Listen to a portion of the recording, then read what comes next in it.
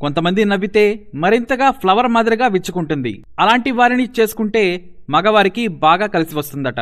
భార్యలుగా పిల్లలుగా తల్లులుగా వారు hundred percent న్యాయం చేస్తారు అని విష్ణు పురాణంలో రాసి ఉంది. అయితే చొట్టపక్కలున్న భార్య వస్తే భర్తకు బాగానే ఉంటుంది కానీ అత్తకు మాత్రం కలిసి రాదట. ఇద్దరికీ అస్సలు పడదు. పోరు పెట్టుకుంటారని కూడా అదే శాస్త్రంలో ఉంది. కొన్నిసార్లు అత్తకు గండంగా కూడా మారవచ్చు. ఇక చొట్టబొగ్గ మగవారికి ఉంటే తల్లికి ఎక్కువ ఆయుష్ ఉంటుందట. అదే ఆడపిల్లకు ఈ డింపులు ఉంటే మాత్రం అత్త పైకి పోవడం కానీ పోరు తట్టుకోలేకపోవడం కానీ జరుగుతుందనేది పురాణ శాస్త్రంలో ఉంది. అసలు ఈ చొట్టబొగ్గలు ఎలా వస్తాయి అంటే చొట్టబొగ్గలనేవి తమ కుటుంబం నుండి అంటే జన్యువుల పరంగా ఇరవై ఐదు శాతం తమ సంతానానికి రావడానికి ఛాన్స్ ఉంది.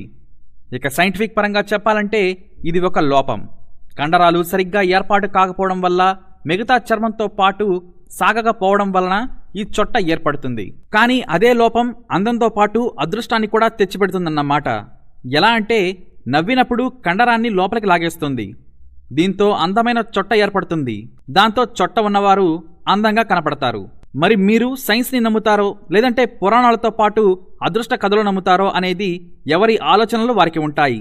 కానీ చొట్టబొగ్గ కొద్దిగా ఎక్స్ట్రా అందాన్ని తెస్తుందనేది మాత్రం వాస్తవం. అయితే షాకింగ్ విషయం ఏంటంటే ఇదే చొట్ట యాభై ఏళ్ళ తర్వాత లోపలికి పోవడం మొదలైపోయి ఉన్న గ్లామర్ను కూడా పోగొడుతుంది.